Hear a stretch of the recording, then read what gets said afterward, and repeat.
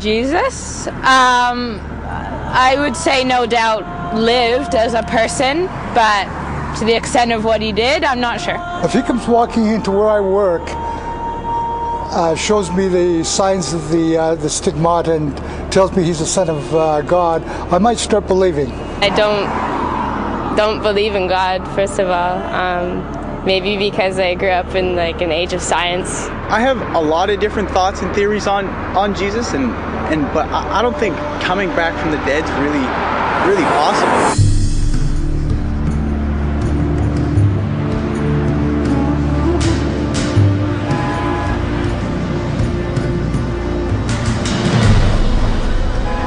The early Christian movement could never have come into being. They recognized in Jesus something.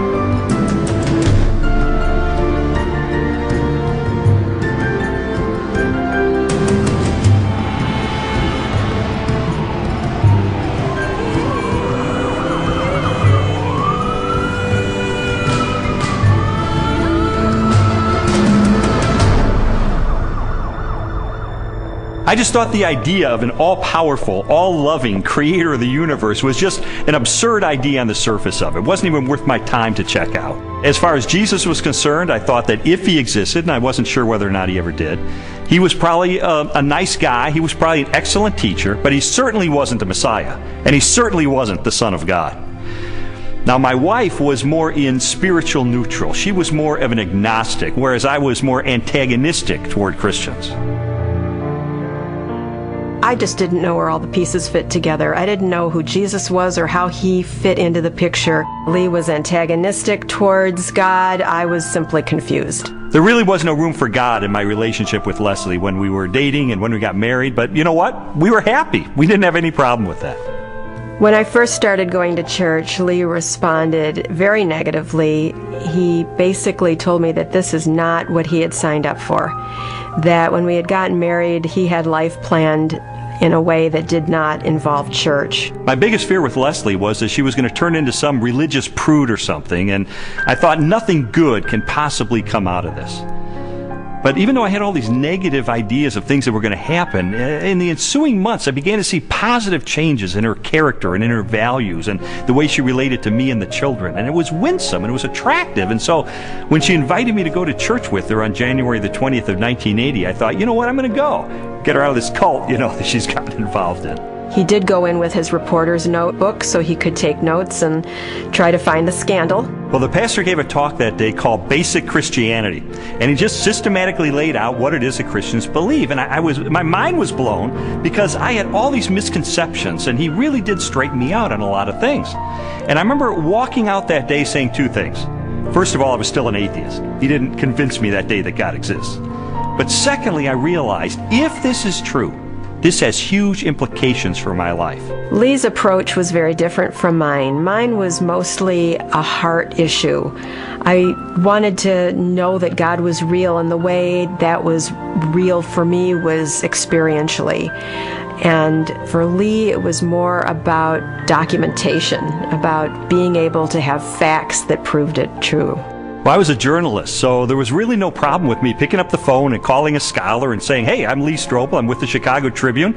Uh, I'd like some background information about the New Testament. And so I, I would do that. And I thought it was going to be so easy to expose the fallacious thinking behind Christianity. But as it turned out, it took me almost two years of my life to investigate these issues. It really was, in a sense, the most exciting story I'd ever pursued as a journalist.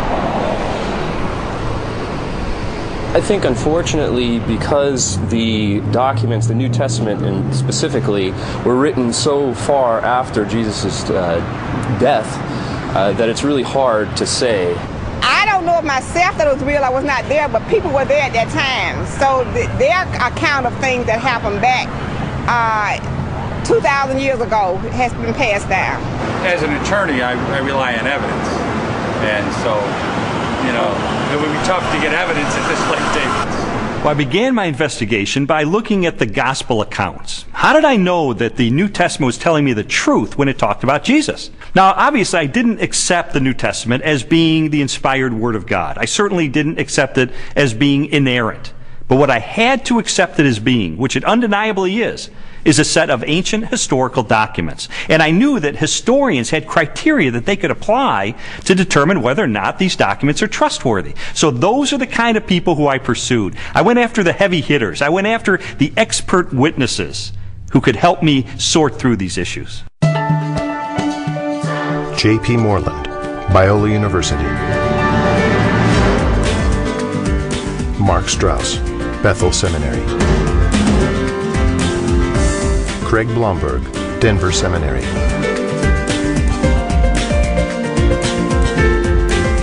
Craig Evans, Acadia Divinity College. N.T. Wright, Bishop of Durham, United Kingdom.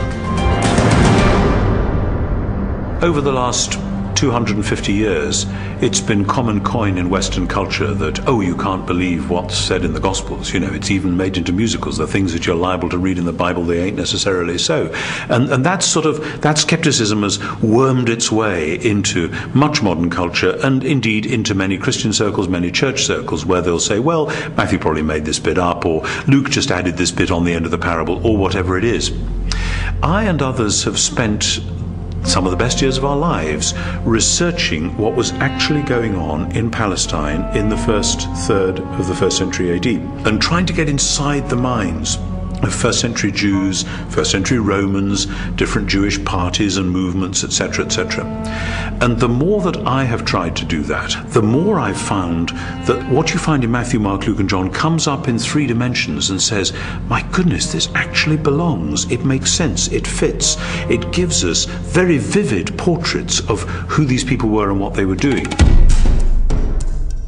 The New Testament Gospels are biographies of Jesus.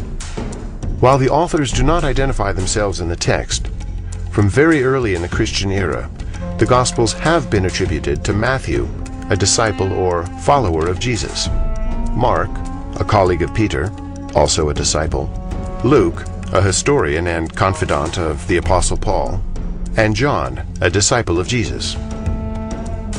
Both Matthew and John were among the twelve, Jesus' closest followers, and constant companions throughout his ministry. They would have personally observed most of the events they described in their Gospels. Mark and Luke were also contemporaries of Jesus and wrote their biographies based upon information provided by many eyewitnesses.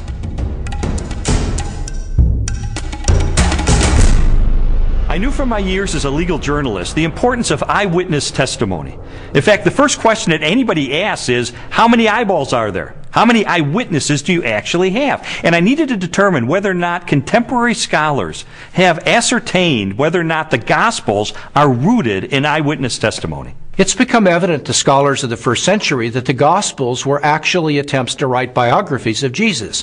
Now, not in the modern sense, because the Gospels are not particularly interested in his early years. But when it comes to Jesus' adult life and his activities, these are biographies. They're very clearly attempts by eyewitnesses to describe exactly what Jesus said and did, and the consensus of New Testament scholarship has moved in that direction. Many have undertaken to draw up an account of the things that have been fulfilled among us, just as they were handed down to us by those who from the first were eyewitnesses and servants of the Word. Luke chapter 1, verses 1 and 2. Luke's gospel begins with a prologue. It's actually one of the finest Greek sections in the whole New Testament. Uh, Luke was clearly a literary artist. Uh, but in that prologue, he points out that he has carefully investigated um, the material that he presents in the Gospels, that he's checked with eyewitness accounts, those who are actually present. If you, you read that prologue and you see this is the work of a historian, this was someone who has, has done his research. Therefore, since I myself have carefully investigated everything from the beginning, it seemed good also to me to write an orderly account for you, most excellent Theophilus, so that you may know the certainty of the things you have been taught. Luke chapter 1, verses 3 and 4. You have to understand that people in the first century valued eyewitness testimony.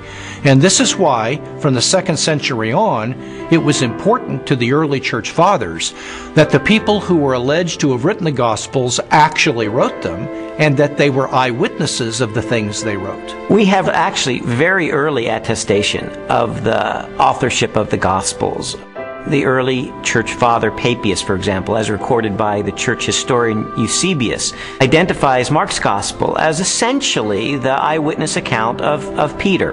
Well, Papias was a disciple of the apostle John, so we are only one generation removed from Jesus himself. That's a pretty close testimony and strongly suggesting that in fact the gospels are based on eyewitness accounts. Now, of course, it's not what you would have seen if you had a video camera there, because after all, if you put a video camera on a street corner, even in Washington, you'd get politicians coming to and fro. You wouldn't actually have a story that would make sense. You'd have a string of random, unsorted events. That doesn't mean that none of it happened, that it's all made up. It's just to acknowledge what is blindingly obvious, that it has been edited and no doubt shaped by the needs of the community, because people tell the sort of stories that they want to tell, because this matters to us urgently here and now.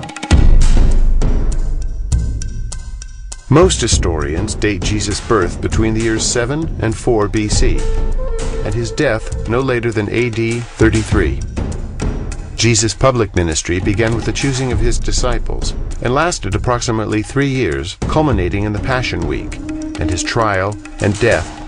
Scholars generally agree that the Gospel of Mark was written first, sometime between the years 60 and 75 in the first century. Matthew and Luke were probably authored shortly after, followed by the Gospel of John. The New Testament Gospels are by far our earliest and most reliable records of Jesus of Nazareth. Um, all of the New Testament Gospels were written in the first century. Not only are they remarkably close to the events themselves, but in fact, eyewitnesses are still around. If they were passing on untruths, if they were not passing on reliable history, then we would expect um, eyewitnesses to say, wait a minute, this isn't what happened. Um, but eyewitnesses are around. Eyewitnesses could confirm what they said. All of the gospel writers either were eyewitnesses or interviewed eyewitnesses uh, to gain the information that they gained about Jesus Christ.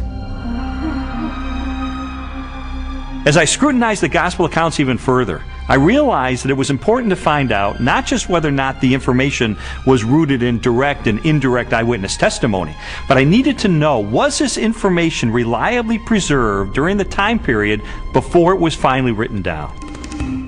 We have to put ourselves into the ancient world without modern media, without even a print based culture in which the only and the standard way of preserving information was through oral tradition, most of which was memorized.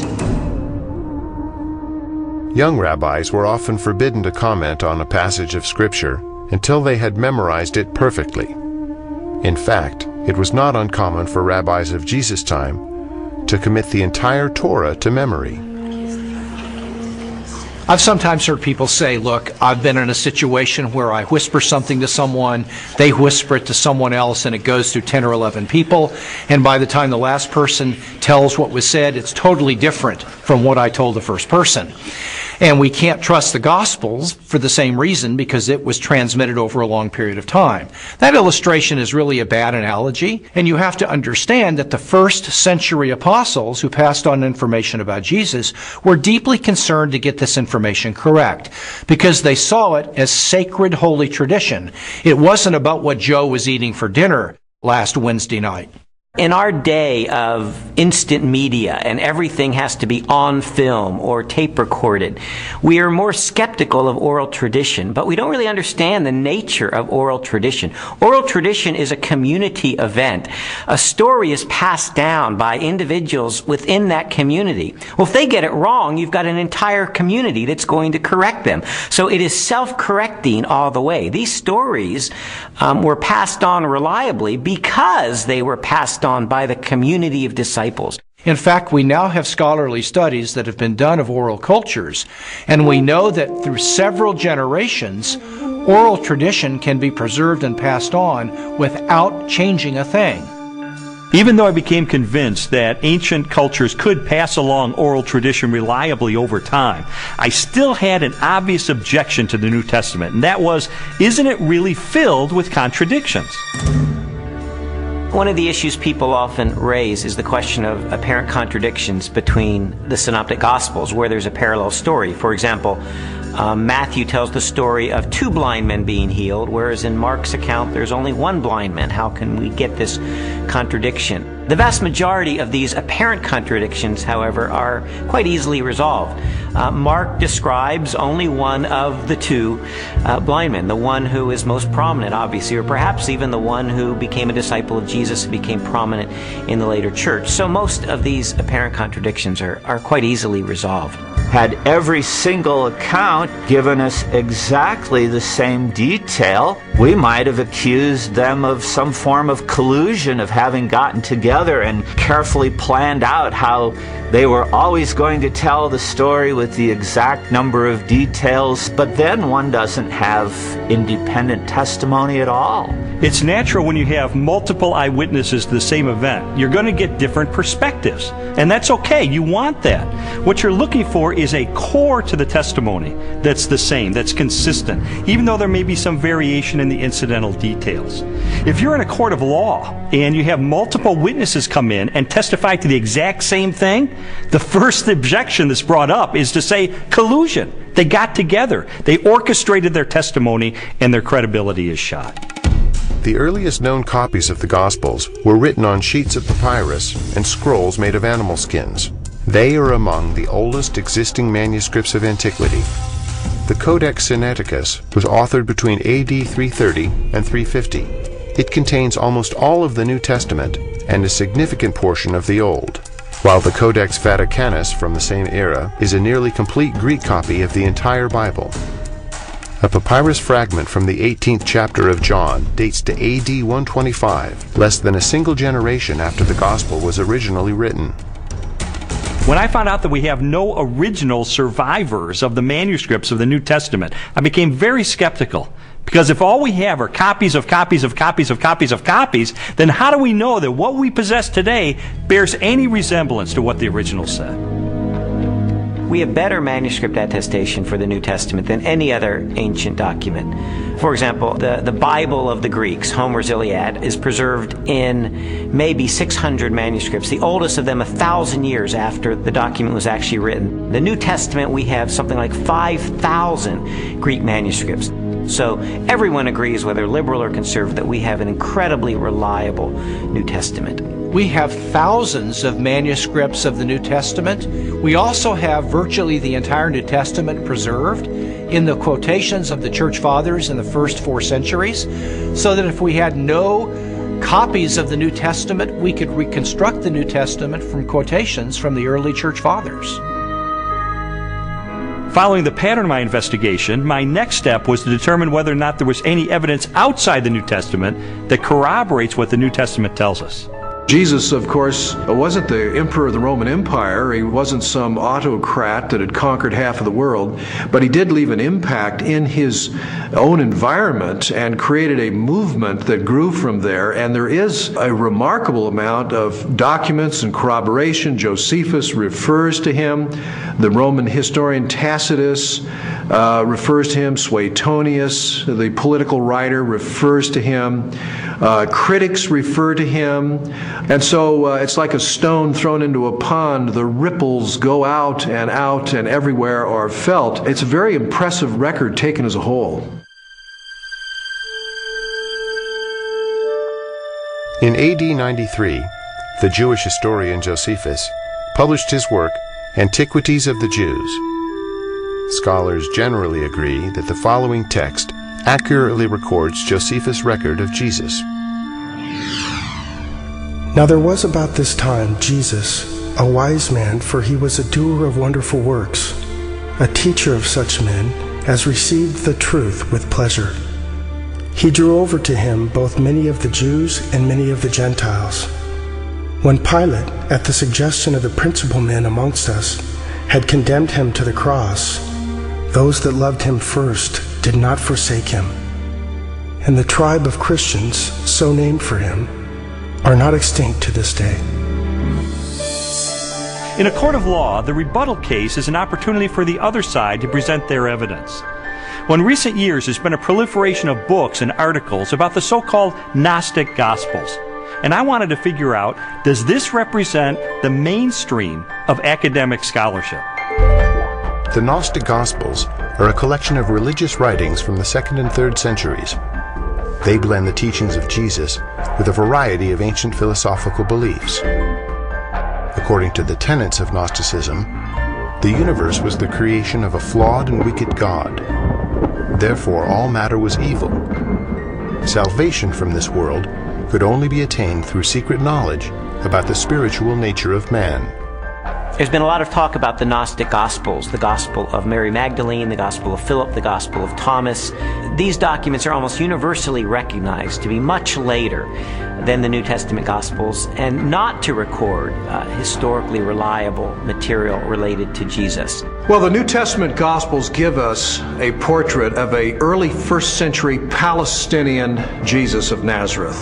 The Gospels from the second century which are mostly Gnostic Gospels, such as the Gospel of Judas, or the Gospel of Thomas, or the Gospel of Philip, or the Gospel of Mary, they give us a very different Jesus. Now, you can pick and choose if you want. You can say, well, I like the second century Gnostic Jesus better.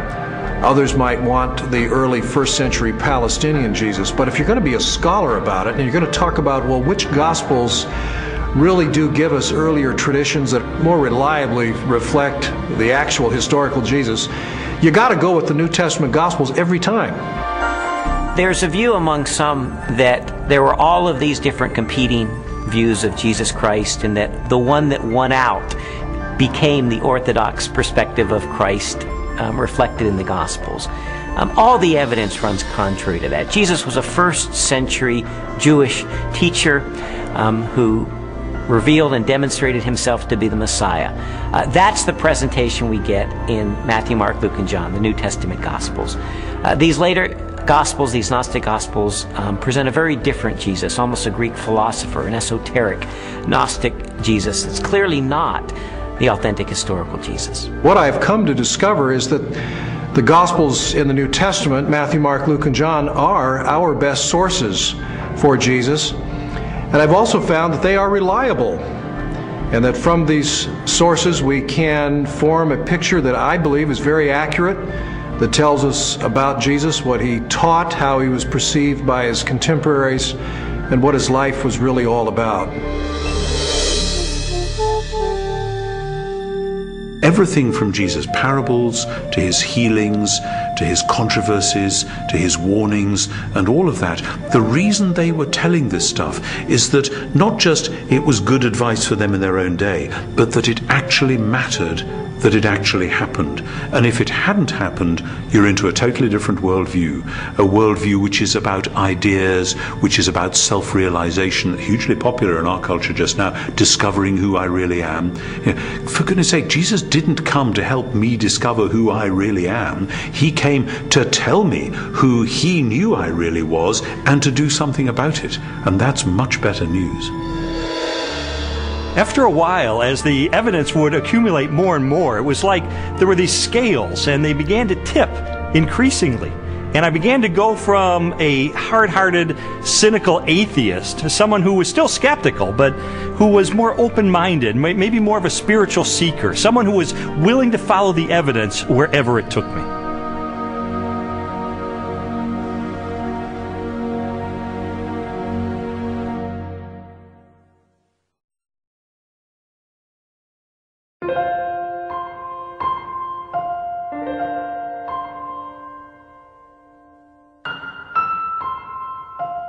This whole time I was on this investigative journey, Leslie and her friends behind the scenes were praying because they knew that I was checking into the evidence. I was looking into these issues for myself, and they just wanted me to be open minded about the evidence that I found.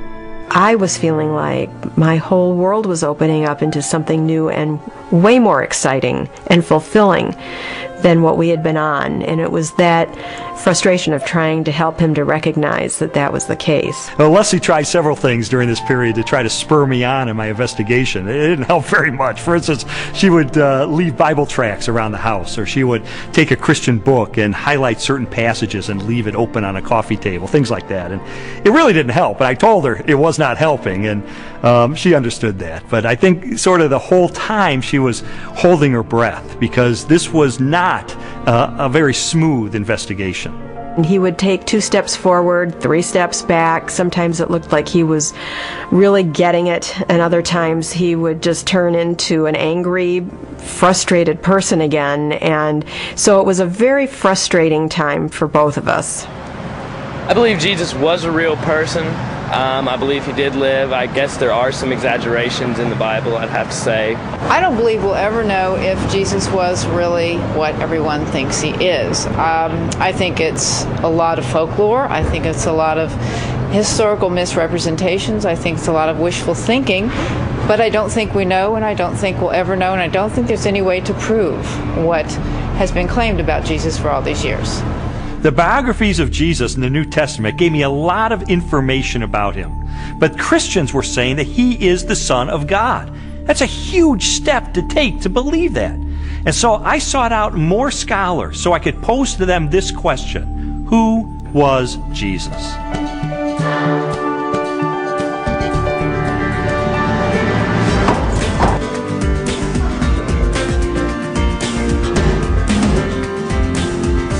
Michael Rydelnik, Moody Bible Institute.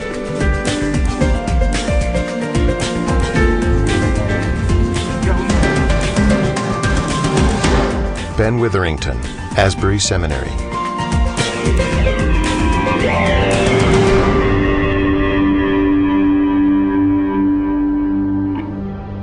Now, this is one of the things I love about Jesus, and it says something to us. His identity is complex. He can't be pigeonholed. He fits no one formula. There's a lot of aspects to who he is.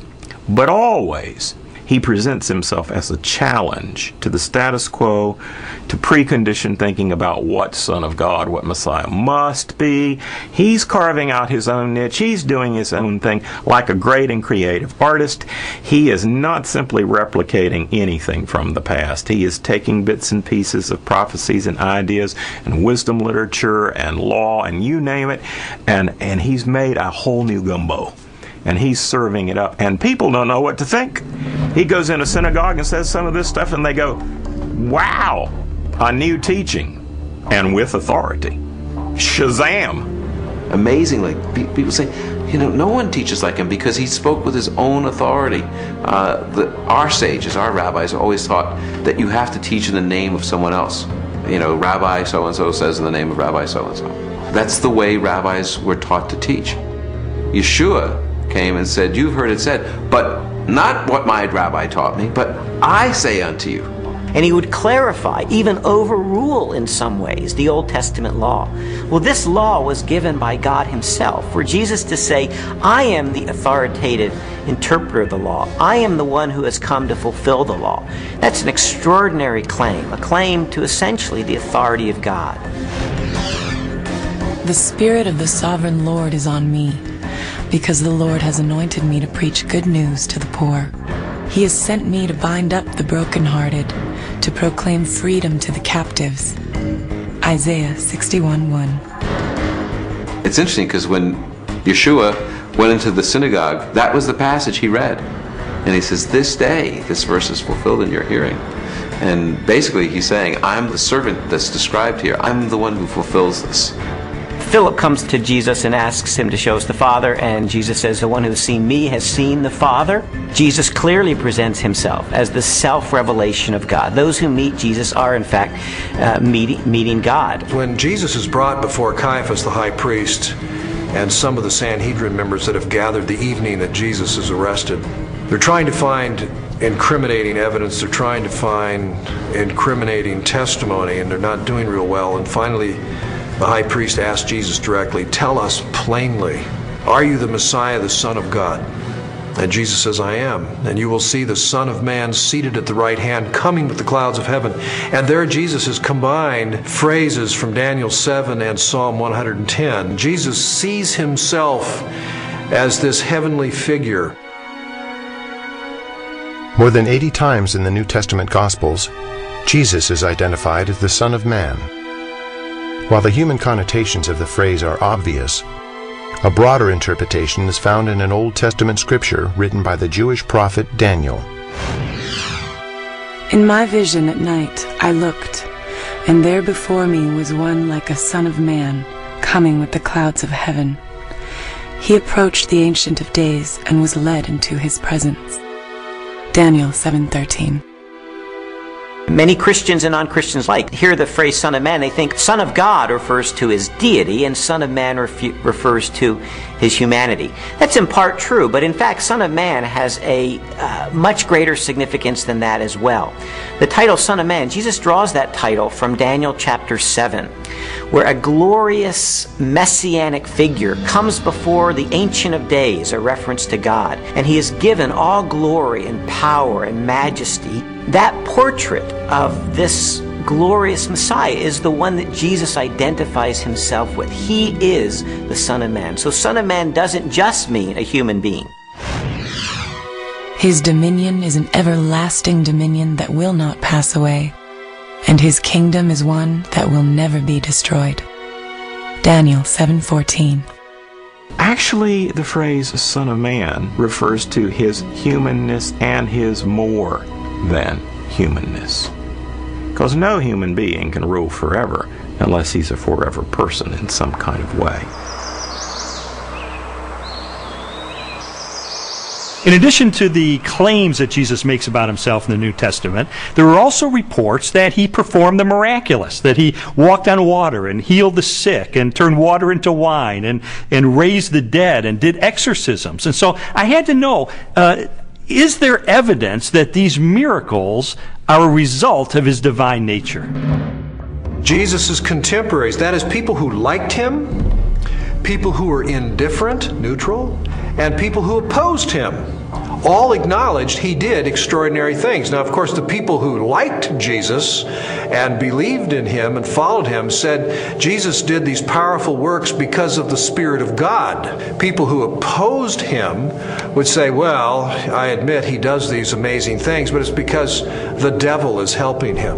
The Talmud actually speaks of some of these things. It, in some of the passages that deal with Yeshua, it has him as a well a magician. And why do they describe him as a magician? It's it, it's not flattering. There's a historical recognition here that when Yeshua came, he did miracles, just as Isaiah 35 indicates in the Messianic age, when the Messiah comes, he'll be able to make the blind see and the lame walk.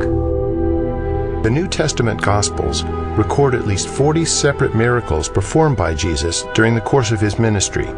They include healings, exorcisms, mastery over nature, and even raising of the dead.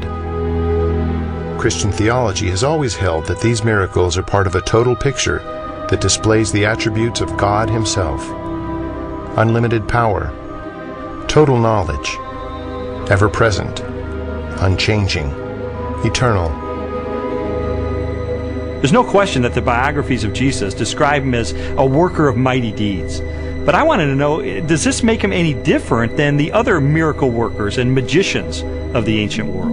Miracle workers that we find occasionally in the first century uh, are magicians. They use incantations, they use spells, they, they try to coerce um, gods or divine figures to work on their behalf. That's very different than Jesus' miracles. Jesus' miracles were to demonstrate the power of the kingdom of God. When he healed the sick, he pointed back to Isaiah's prophecies that when God's kingdom would come, when God's salvation would come, the lame would walk, the blind would see. This was the demonstration that God's kingdom was arriving. He's an exorcist. You don't find any of those in the Old Testament. People were not looking for messianic exorcists. He carves out his own niche. He reveals his identity in his own way. it becomes clear that he is somebody who can take on the powers of darkness himself and win. What kind of person is that? And he doesn't have to use recipes and formulas like other ancient exorcists. He can just call the demon by name and that boy's out of there. One of the most astonishing things that Jesus did was when he claimed to forgive sins. In Mark's Gospel, chapter 2, a man is brought to him, um, a paralyzed man, and the crowds around him are expecting Jesus to heal him. But instead, the first thing Jesus said is, Your sins are forgiven. Only God forgives sins. Now, some might say, well, Jesus may have been forgiving sins on behalf of God. But in fact, that's not the way his listeners understood him, because immediately the religious leaders responded to that. Who is this that forgives sins? Only God forgives sins, they claim. But Jesus claims the ability to forgive sins. And that to confirm that he has that authority, he then heals the man. And so a very obvious question arises. That is, is Jesus the Messiah, the Christ, the anointed one, the one sent by God to be the Savior of Israel and the world? Christians told me that there are dozens and dozens of ancient prophecies contained in the Old Testament of the Bible, and that they predict the coming of this Messiah, and that Jesus, against all mathematical odds, fulfilled those prophecies. And I thought, you know, this is a little bit like the fingerprint evidence you see in a court of law. I remember covering one particular case where the murderer went through the purse of the victim and he left one thumbprint on the cellophane wrapper of a package of cigarettes. And it was that thumbprint that led to his conviction for murder. And I thought, in an analogous way, could it be that these ancient prophecies are sort of like that thumbprint on the cellophane? Do they create a thumbprint that only Jesus Christ in all of history manages to match?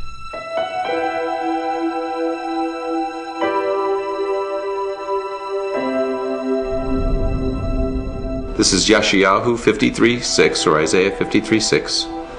Kulanu katson ta'inu, ishla darko paninu, vadonai hifnia bo, eight avon kulanu.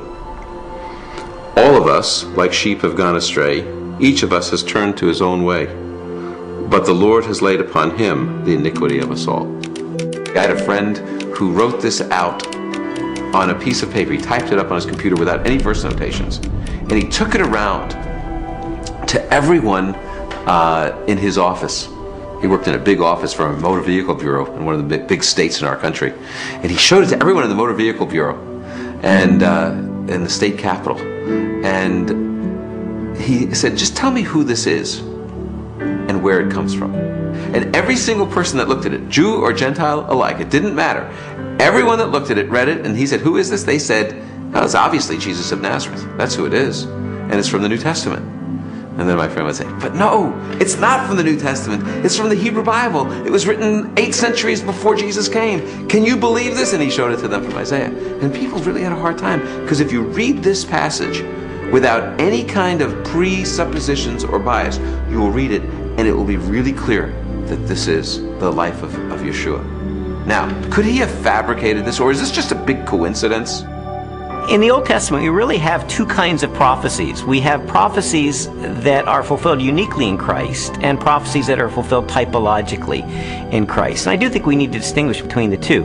Uh, those that are fulfilled uniquely in Christ were, were once and for all fulfilled by Jesus. And those are the ones that we can really point to to have apologetic value. That is to demonstrate that, that Jesus was the only person who could have possibly fulfilled this. His birth in Bethlehem is one of those prophecies. His role as the suffering servant of Isaiah 53 is one of those prophecies. His entrance into Jerusalem on a donkey from Zechariah chapter 9. These are clear evidence that Jesus is fulfilling the Old Testament. The most amazing part of Isaiah's prophecies is in Isaiah 9 when it speaks about the son of David coming to be the king, to sit on the throne of David and have an eternal righteous kingdom. And everyone knows it from Handel's Messiah. Unto us a son is born, unto us a child is given. And the idea of this verse is that the Messiah will actually be born, physically born. And then it says, And his name shall be called Wonderful Counselor, Mighty God, Father of Eternity. In other words, he's the creator, the author of time. Some skeptics have said that Jesus could have engineered the fulfillment of these prophecies. Of course, Jesus could not have determined where he was going to be born, so to be born in Bethlehem, obviously he could not have engineered that. Also, as the suffering servant, it would have been difficult for him to engineer such a specific fulfillment of Isaiah 53. But on the other hand, uh, the fact that Jesus performed certain actions that in fact fulfilled prophecies only demonstrates that he was indeed the Messiah. Um, anyone who enters Jerusalem riding on a donkey in obvious fulfillment of Zechariah 9 9 is saying, Yes, I am the Messiah. So we certainly have a glimpse in that fulfilled prophecy of the self consciousness of Jesus, that he truly believed that he was the Messiah. Scholars have determined that Jesus fulfilled at least four dozen major prophecies, each written a minimum of three centuries before his birth. Their content ranged from specific details about his life to the symbolic implications of his death. Psalm 22 gives a poetic picture by David, written in the first person, of what the Messiah will be like in his suffering. And one of the things he says is that they will pierce my hands and my feet. Now, David wrote before crucifixion was known, probably by about 300 years. So Isaiah 53 says he was pierced through. It gives us the reason for his death. He was pierced through for our iniquities. So there's a purpose. He dies not just because he's a martyr, but because he's a substitution for sin. A college professor of mathematics and science named Dr. Peter Stoner wanted to determine what the odds were that any human being throughout history could fulfill the messianic prophecies. So he had his students come up with very conservative estimates of the likelihood of any human being fulfilling certain of these predictions. And then they just ran the numbers. And what they determined is that the odds of any human being fulfilling 48 of these ancient prophecies would be one chance in a trillion, trillion, trillion, trillion, trillion, trillion, trillion, trillion, trillion, trillion, trillion, trillion, trillion. It is mathematically virtually impossible. To me, just as significant as all of those unique prophecies that were fulfilled in Christ is the complete drama of the Old Testament. The fact that the Old Testament is the story, the narrative of God's redemptive movement, His movement to deliver and save humanity. And Jesus is the climax of that movement. He is the climax of salvation history, the one who brings it off to fulfillment. You read the Old Testament, it's building, building, building. Uh, Jesus arrives on the scene and He is the fulfillment. And he, he recognizes himself clearly as the climax of God's plan of salvation for all humanity. This whole case was sort of like one of those jigsaw puzzles where you don't know what the ultimate picture is going to be. You just put together the pieces. And it, as I was putting together all of the evidence, it started to take shape. And, and I sort of stepped back and I could see that it was a portrait of Jesus Christ.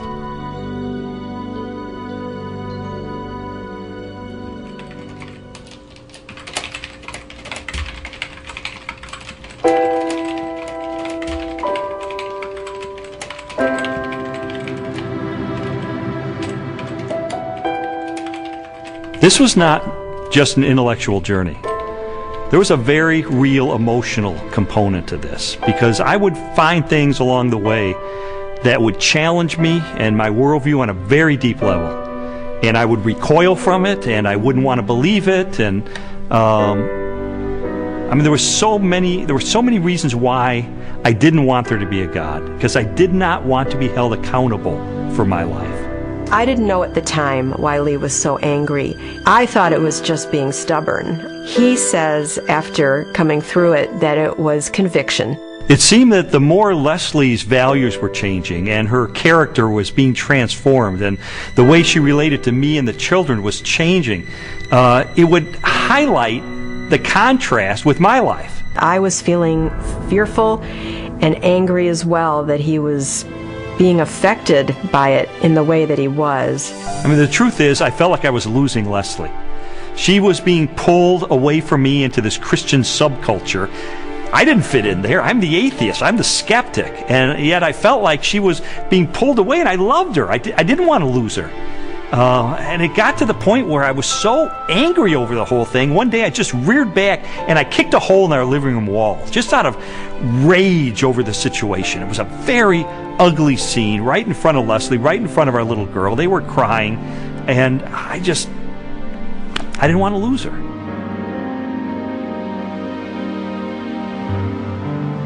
Jesus's body was never was never found, and so yeah, his and they predicted it. Well, you know, he talked about it, and uh, it was predicted, and it happened. I mean, it's it's this easy. It's as simple as that. We just tend to complicate it, man. no, not physically, not his physical body. So when they came the following morning and rolled back the great stone in front of the tomb, and he wasn't there. No, no, it must have been dark in that. I don't know. They must have missed him. No, I don't think physically a physical body can rise. I don't think that he was yanked out of that, or physically walked out and walked down the street and met with them. I, it just doesn't make any sense to me. For more than a year, I'd investigated the historical record for the reliability of the New Testament. I'd looked at the identity of Jesus. But now was time to look at the ultimate evidence for who he really was the purported resurrection of Jesus from the dead. And for that, I went to the best scholars that I could track down. William Lane Craig, Biola University. Gary Habermas, Liberty University.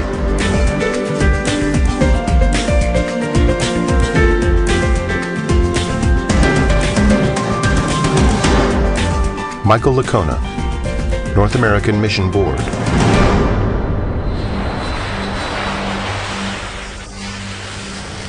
You see, while Jesus was on earth, he made uh, some really radical claims. He claimed to be the uniquely divine servant of God, and he claimed that the only way that we could get to God would be through him. Now, I submit to you that if one of your professors made some claims like that, you would think that he or she was a few french fries short of a Happy Meal. Those are some really audacious claims.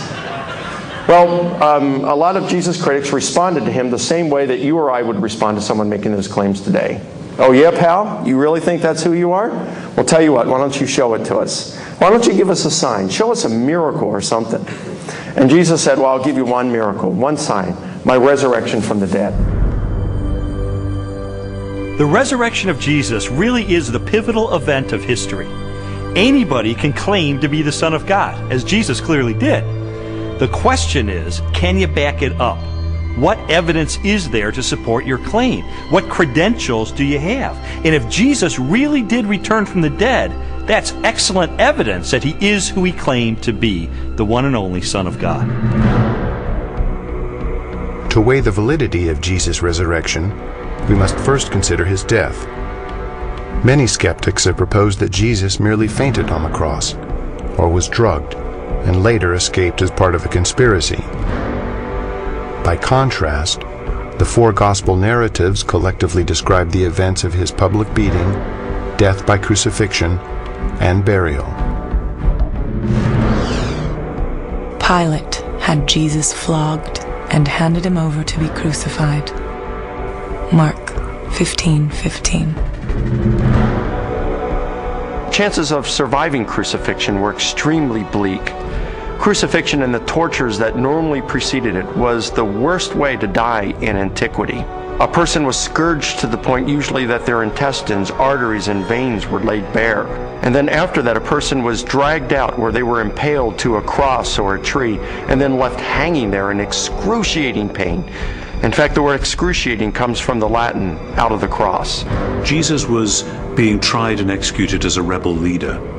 Now, in the Roman army, if you were responsible for looking after one prisoner of war, even if he was an, a rather insignificant prisoner of war, if you let him get away, your life would be forfeit in place of his, and life was very cheap.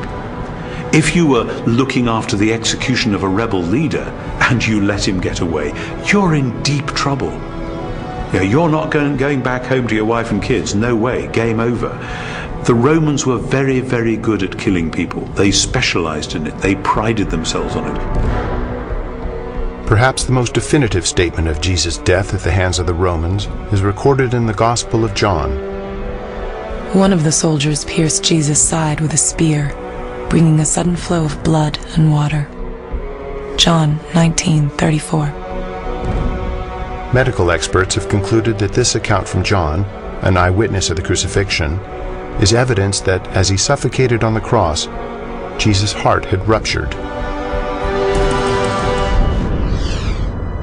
There came a rich man from Arimathea named Joseph. Joseph took the body, wrapped it in a clean linen cloth, and placed it in his own new tomb that he had cut out of the rock. Matthew 27, 57 through 60. All four Gospels tell us that Jesus was buried in the tomb of Joseph of Arimathea. That's a remarkable statement, um, and certainly a historical statement. The evidence for that is, first of all, uh, Joseph of Arimathea is identified as a member of the council, the Sanhedrin, that condemned Jesus. The presence of Joseph of Arimathea in the empty tomb narrative indicates that this is a historically reliable account of what really happened. His name would have been known to people in those days very much like a United States Senator would be known today. It would have been very clear where his tomb was so that there would have been no question about the location of Jesus' burial. It also, I think, indicates that the burial account of Jesus could not have been made up. It is highly unusual to find that the person who alone has the courage to go to Pilate and give Jesus an honorable burial is not members of his family, faithful disciples who followed him to the end. Instead, it is a member of the Jewish Sanhedrin, the very high court, all of whom, Mark says, had condemned Jesus of Nazareth to the cross. The fact that it is Joseph of Arimathea who is the person responsible for giving Jesus an honorable burial is an awkward and embarrassing fact for the early church, and yet this tradition is faithfully preserved in almost all of the traditions that we have about the burial of Jesus.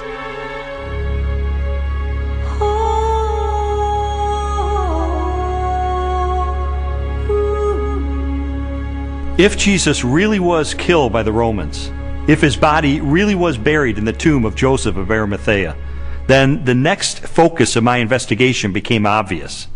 On the first Sunday after the crucifixion, was the tomb of Jesus Christ really empty? On the first day of the week, very early in the morning, the women took the spices they had prepared and went to the tomb. Luke 24 1. The empty tomb story also has a very embarrassing feature of it that is preserved in the memory of the early church, namely the discovery of the empty tomb by women. Now, in order to appreciate this, you have to understand something of the status of women in Palestinian Jewish society. In that society, which was a patriarchal society, women were frankly second class citizens. If you were going to invent an account about an empty tomb, then why on earth would you invent witnesses, primary witnesses, whom no one would believe? In fact, they would scoff at that later on. Supposing you were inventing the story of the resurrection of Jesus, many people have said, oh, this was all just dreamed up later on. Well, how would you have done that? The one thing you wouldn't have done would have been to have not only a woman, but a woman who's got uh, nobody quite knows what, but a fairly shady past, as your prime witness. And yet there she is, Mary Magdalene, in Matthew, Mark, Luke, and particularly in John. And already by the middle of the second century, the pagans are sneering, oh, this is just based on the testimony of hysterical women, you can't believe that. But the early Christians stuck to their story, they stuck to their guns, they stuck to the women. They said, this is how it was. Now, they just would never have made that up. And that actually has enormous ramifications. If this is how the story was, and they didn't change it um, to airbrush Mary out, then this really must have been what happened on that first Easter day. The chief priests devised a plan. They gave the soldiers a large sum of money, telling them, You are to say, His disciples came during the night and stole him away while we were asleep. Matthew 28 12 and 13. Matthew reports that the Jewish authorities were claiming that the disciples of Jesus had stolen his corpse. And this is verified by Justin and Tertullian a little bit later on, saying that the Jewish leaders were still saying the same thing in their day. Now, here's the question If the body is still in the tomb, why are you saying that the disciples had stolen it? Well, if you think about that, the claim that the body was stolen confirms that Jesus' enemies acknowledged that the tomb was empty. If you've got a stolen body, you must have an empty tomb. If the tomb was not empty, Jesus' opponents would surely have gone and got the body and shown it as soon as the disciples began proclaiming the resurrection. I found the evidence for the empty tomb very convincing, but you know what? That didn't tell me what happened to Jesus. Is it true that hundreds of people really saw him alive after the crucifixion? My research took me to a letter that the Apostle Paul wrote to the church at Corinth, and it contains the earliest passage of all about what happened to the resurrected Jesus. He was raised on the third day. He appeared to Peter and then to the twelve. After that, he appeared to more than 500 of the brothers at the same time. Then he appeared to James, then to all of the apostles. And last of all, he appeared to me. 1 Corinthians 15 4 through 8. Paul, who is a first generation Christian, having met and seen the resurrected Jesus, describes resurrection appearances to Peter, to the apostles, to James, and finally to himself. And he also mentions 500 people who saw Jesus alive. So we have eyewitness first-hand account um, of someone who himself saw Jesus alive and knows of 500 people or so who saw Jesus alive. That's extraordinarily strong evidence. These people, Paul tells us, were still alive at the time that he was telling the Corinthians about it. And his implication is we have hundreds of people who actually saw Jesus risen from the dead. If you don't believe me, you can ask them about it because they're still alive. In 1 Corinthians 15, Paul tells the Corinthian church that he passed on what he received. He uses the language actually of a formal transfer of tradition. What he received, and then he describes the resurrection of Jesus Christ and the resurrection appearances. This confirms for us that the accounts of the resurrection were creedal tradition that were passed on to Paul. So if 1 Corinthians was written in the early to mid 50s of the first century. These traditions were much earlier than that, um, going back to the period of Paul's conversion in the in the 30s. So that pushes the accounts of the resurrection to a very very early date. Paul seems to think that the best argument for this text is that he received it from trustworthy persons. I gave you what I was given. The answer is right. I went to the right people. And critics believe that Paul got this material. Generally, they say he received it in Jerusalem about 35 AD.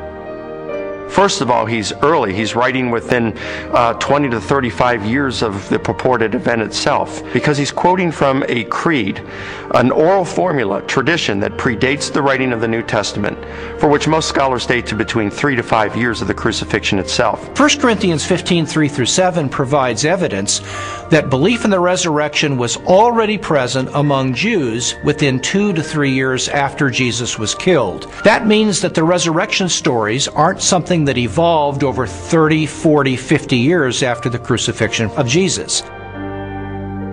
So we have the empty tomb, we have the eyewitnesses, we have the early accounts. The question is are there any other additional facts, circumstantial evidence, to support the resurrection? While the Apostle Paul described hundreds of eyewitnesses to the resurrected Jesus, the full impact of the event is perhaps best measured by the subsequent growth of the early Christian church in the face of intense persecution. In the second century, the Roman historian Tacitus wrote, Nero inflicted the most exquisite tortures on a class hated for their abominations, called Christians by the populace. Christus, from whom the name had its origin, suffered the extreme penalty at the hands of one of our procurators, Pontius Pilate, and a most mischievous superstition, thus checked for the moment, again broke out not only in Judea, but even in Rome. Even the most critical, skeptical scholars recognize that the earliest disciples at least believed that God had raised Jesus from the dead. In fact, they pinned nearly everything on it. Without belief in Jesus' resurrection, the early Christian movement could never have come into being. They recognized in Jesus something special, but they, they wondered if they were mistaken when he, when he died. They didn't anticipate that. Suffer, maybe, but die at the hands of Pontius Pilate, the Roman governor? In fact, even when the first reports of his resurrection reached their ears, they, they were still doubtful and skeptical. But when they met the risen Lord, their skepticism was transformed into a very confident faith, a great joy, and a determination to preach the good news to everyone else. And I think that's the part that's awfully hard to refute because we have this turnabout, this transformation of a discouraged and bewildered following on the basis of the good news. Somehow you have to explain the explosion from scared followers who run away to let's worship him, let's sing to him, let's pray to him. If there was no resurrection, and more to the point, if there was no resurrection appearances of Jesus, to those who doubted and were discouraged and denied and betrayed Jesus, we would not be sitting here talking about this today. Other messianic figures had risen in the past, had claimed to be somebody, um, and had been suppressed and killed by the Romans. Um, yet no movement arose around those dead messiahs. But these disciples of Jesus um, were willing to go to the ends of the earth proclaiming the gospel message, were willing to suffer and die for that. The transformation from a bunch of defeated cowards to boldly, fearlessly proclaiming the gospel, even to the point of death, to me confirms that something happened on that first Easter morning. I have worked much harder, been in prison more frequently, been flogged more severely, and been exposed to death again and again. 2 Corinthians 11:23. After Jesus' crucifixion, the disciples lived lives of hardship for 20, 30, 40 years, suffered greatly in their ministries, and eventually suffered martyrdom and execution without recanting for their belief that they had seen Jesus risen from the dead. I mean, what were they gaining? Were they becoming rich? They're running around the countryside. They're, in some cases, abandoning their family for periods of time so they can preach. What they got for their efforts is death in many cases. You also have to remember that the disciples died not just for something they believed was true, they died for something they actually saw with their own eyes. It's much more difficult to explain that away than it is for someone who dies for a belief and they're sincerely wrong. I came across a bit of evidence I really found fascinating. James was a half brother of Jesus, and he was not a believer in Jesus during Jesus' lifetime. But he later died the death of a martyr as a leader of the local church. In a similar way, Saul of Tarsus was a persecutor of Christians, and yet he later becomes the Apostle Paul, this incredible missionary. So I had to ask myself, what led to this radical transformation of these skeptics? Sometimes people will come to believe something they wish to be true. If you believe hard enough that a person is loving and kind, you can talk yourself into believing that even though the person is not loving and kind. It's very, very difficult, however, to explain people coming to believe something that they're actually standing against. Now, in the case of James and Paul, they did not believe in Jesus before his crucifixion. In fact, they thought he was deranged, and they did not accept what he said and what he taught. James, the brother of Jesus, is a skeptic who doesn't come to Jesus until he meets the risen Lord. Critics allow that. Paul's a persecutor till he meets the risen Jesus. That's not the kind of testimony of someone who all gets together and say, hey, let's just uh, cook this thing up. One of the certainties, it seems to me, related to the testimony of the apostles is that they truly believed uh, that Jesus was who he claimed he was, and they truly believed that he had risen from the dead um, because they were willing to die for that. Very few people are willing to die uh, for something they don't really believe in, or something even worse that they know to be a lie. When Jesus was executed, his disciples were rightly afraid. They scattered, they were fearful for their own life. Their hopes had been dashed because they had believed Jesus was the promised one who was going to usher a new day in for Israel. Turned out he wasn't because he was murdered by crucifixion under the authority of the Roman Empire. And yet, shortly thereafter, we find them taking a stand in Jerusalem proclaiming that Jesus was the Messiah, the very Son of God. How do we explain that?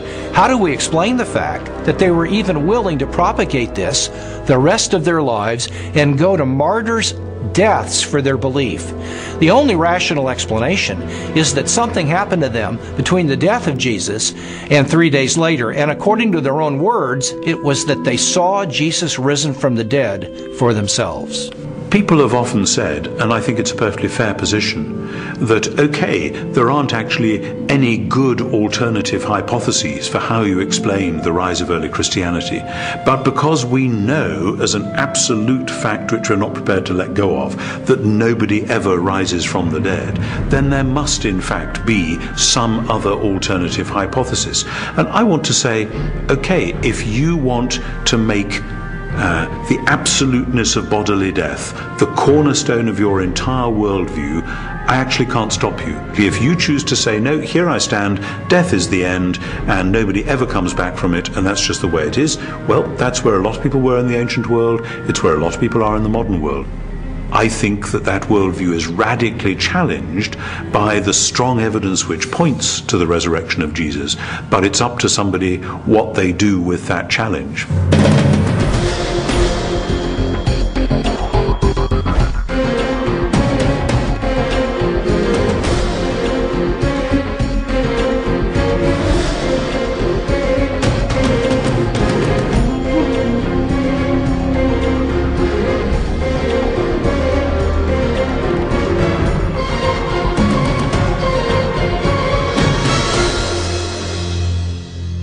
The evidence accumulated over time until November the 8th of 1981, which is sort of when I reached a critical mass. I remember going alone in my room and I took a yellow legal pad and put a line down the middle. And on one side, I started to list all of the evidence I had encountered for Jesus Christ being the Son of God. And on the other side, all the negative evidence against that. And I, I wrote and I wrote page after page. And finally, I put my pen down. I said, wait a minute.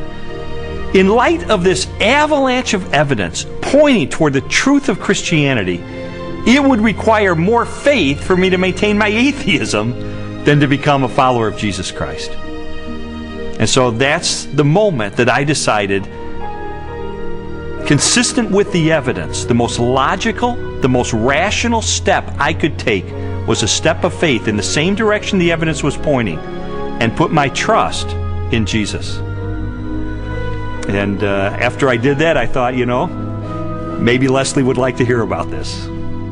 I thought it was too good to be true. My heart was pounding. I was in tears. I was so excited. I just threw my arms around him and kissed him and hugged him and told him how I'd been praying and how lots of people had been praying that this day would come. She threw her arms around me and she said, You hard hearted son of a Baptist, she said, I've been telling you this for two years. I mean, come on.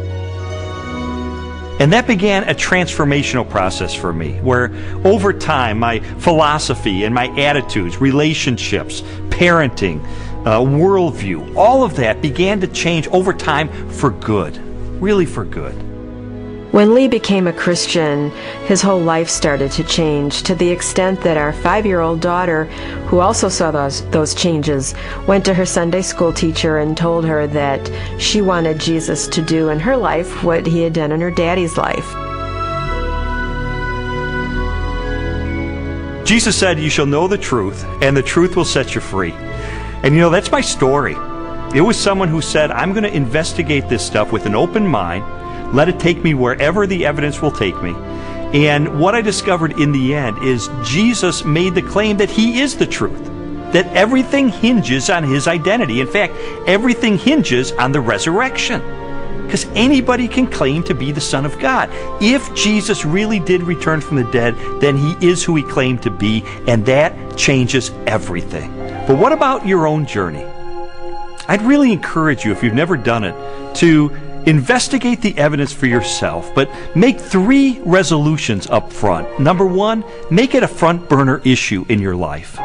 Number two, resolve to have an open mind, to go wherever the evidence takes you, even if it takes you to the very uncomfortable conclusion that Jesus is who he claimed to be. And then finally, resolve that once the evidence is in, you will reach a verdict in the case for Christ.